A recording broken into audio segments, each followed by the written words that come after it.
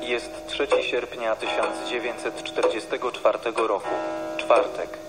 Wschód słońca 5.15, zachód 20.41. Na dworze 17 stopni. Pochmurno. Rano mrzawka. Stan wody w Wiśle 137 centymetrów. Na Okęcie przybywa brygada Rona, Ruskaja Oswobodicielnaja Narodnaja Armia pod dowództwem renegata generała SS Bronisława Kamińskiego.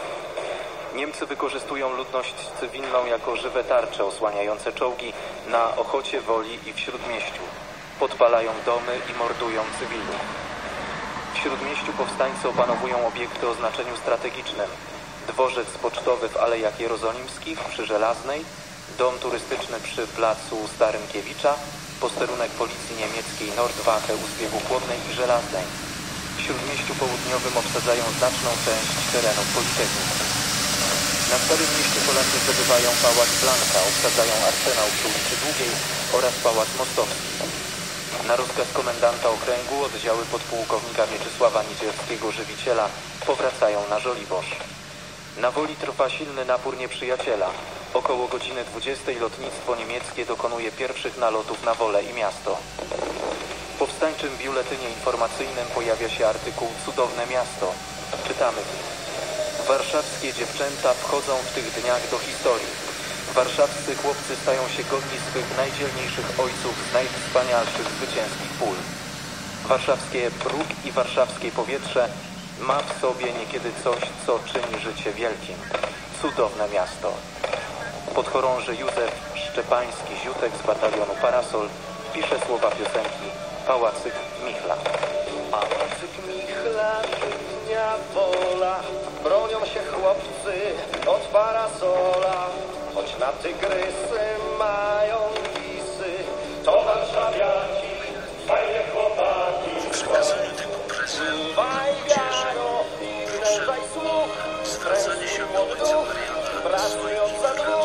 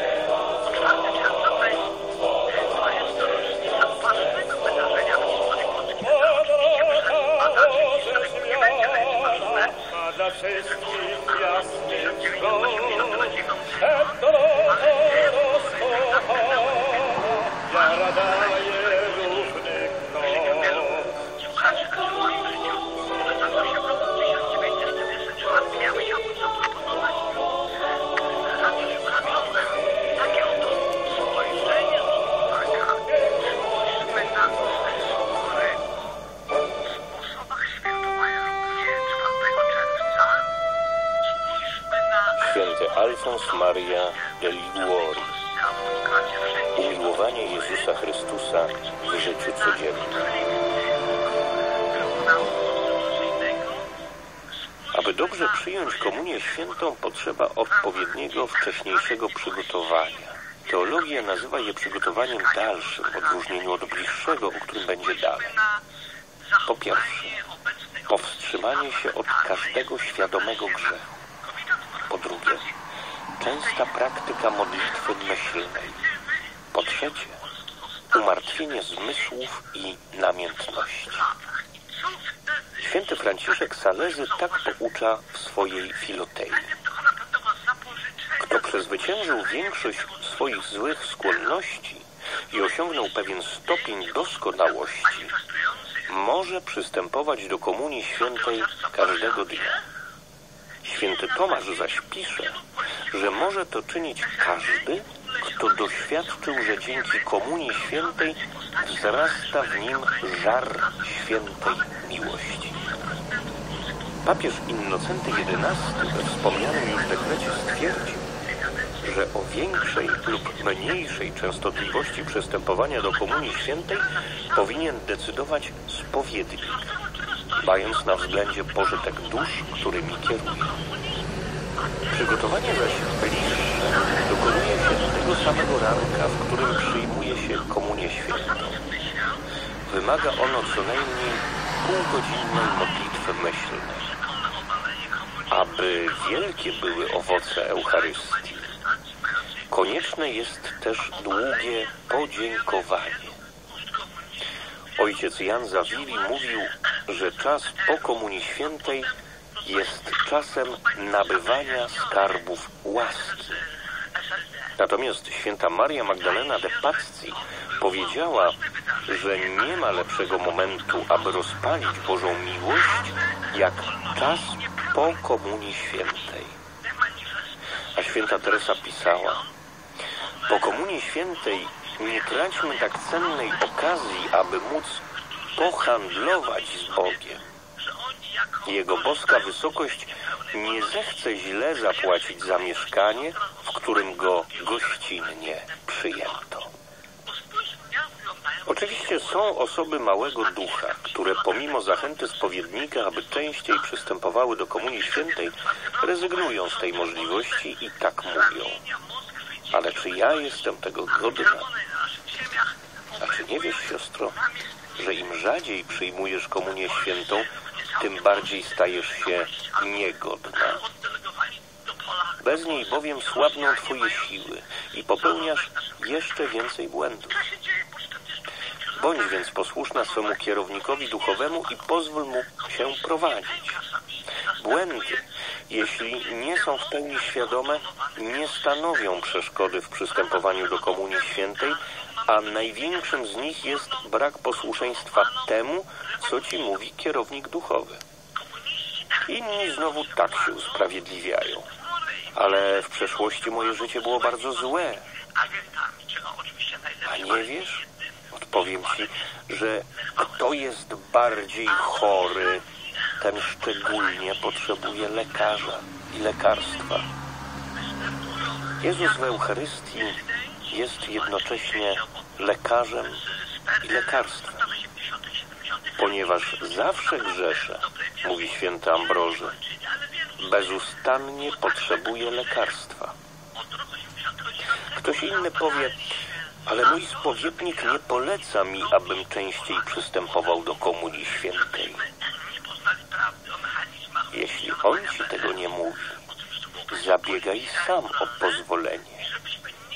Jeśli ci zabroni, bądź mu posłuszny, ale potem ponów próbę. Wydaje ci się to pychą?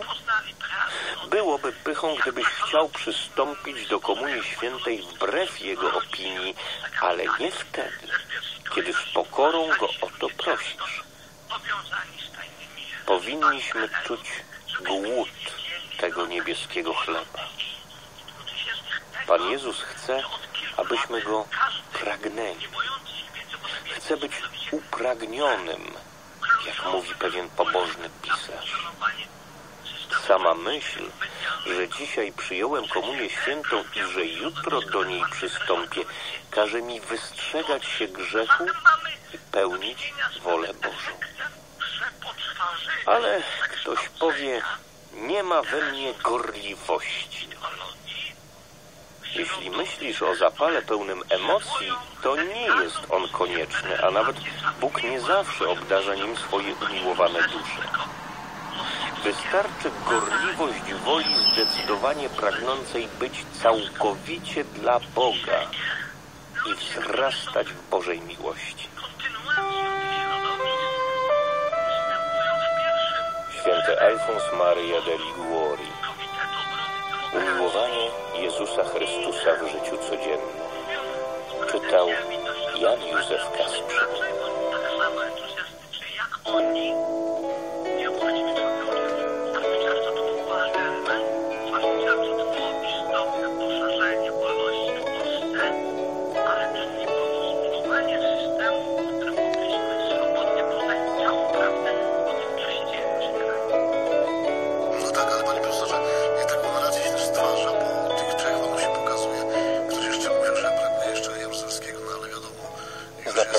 Do wspólnej modlitwy. Rozważać będziemy tajemnicę zesłania Ducha Świętego z części chwalebnych, różańca świętego, by przez ręce Matki Najświętszej i apostołów zgromadzonych wieczorników praszać potrzebne łaski, dary Ducha Świętego dla Ojca Świętego, wszystkich kardynałów, arcybiskupów, biskupów, prosić w intencji nowych powołań kapłańskich, zakonnych, misyjnych, modlić się jednocześnie pragniemy o światło Ducha Świętego dla rodziców, dla młodzieży, dla wszystkich uczestników Światowych Dni Młodzieży w Krakowie, by zanieśli tę iskrę miłosierdzia, będąc apostołami, świadkami Bożego miłosierdzia Jezusa Miłosiernego, który wyciąga do nas swoją dłoń, ukazując na zdrowie Jego miłości, wytryskującej ku życiu wiecznemu z przebitego boku. Prosimy e, o potrzebne łaski dla wszystkich pielgrzymujących na Jasną Górę, czy też do sanktuariów maryjnych. Modlimy się za wszystkich ofiarodawców, dobroczyńców Radia Maryja, we wszystkich intencjach modlących się razem z nami, czyli za całą rodzinę Radia Maryja. Nie ustajemy w modlitwie o pokój na świecie, o zaprzestanie wszelkiego rodzaju prześladowania, prześladowań. Telefony do studia 011 48 56 655 23 33 lub 011 48 56 655 23 66.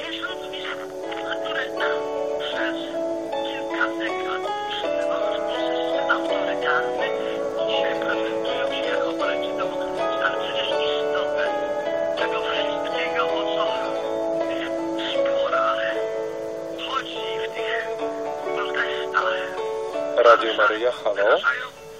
Ani Pani pochwalony Jezus i Maria zawsze dziewica. Teraz i zawsze. A kłaniam się tutaj z Hamilton z Kanady. E, Chciałbym swoją modlitwę poświęcić intencji mojego ojca, który zmarł rok temu i za, za wszystkich zmarłych naszych rodzin oraz za intencje mojej żony, naszych dzieci oraz za naszą parafię świętego Stanisława e, Kostki Hamilton i za naszego przyjaciela zdrowie, za e, pana Władysława Stroki i za wszystkich naszych znajomych, krewnych i przyjaciół. Proszę poprowadzić naszą modlitwę. Imię Ojca i Syna i Ducha Świętego. Amen. Amen. Ojcze nasz, któryś jest w niebie, święć się imię Twoje, przyjdź królestwo Twoje, bądź wola Twoja, jako w niebie, tak i na ziemi. Chleba naszego powszedniego daj nam dzisiaj i odpuść nam nasze winy, jako i my odpuszczamy naszym winowajcom. I nie wódź nas na pokuszenie, ale nas zbaw od złego. Amen. Zdrowaś Mario, łaski pełna Pan z Tobą, błogosławionaś Ty między niewiastami i błogosławiony owoc żywota Twojego Jezus. Święta Maryjo, Matko Boża, módl się za nami grzesznymi, teraz i w godzinę śmierci naszej. Amen. Zdrowaś Maryjo, łaskiś pełna Pan z Tobą, błogosławionaś między niewiastami i błogosławiony owoc żywota Twojego Jezus. Święta Maryjo, Matko Boża, módl się za nami grzesznymi, teraz i w godzinę śmierci naszej. Amen.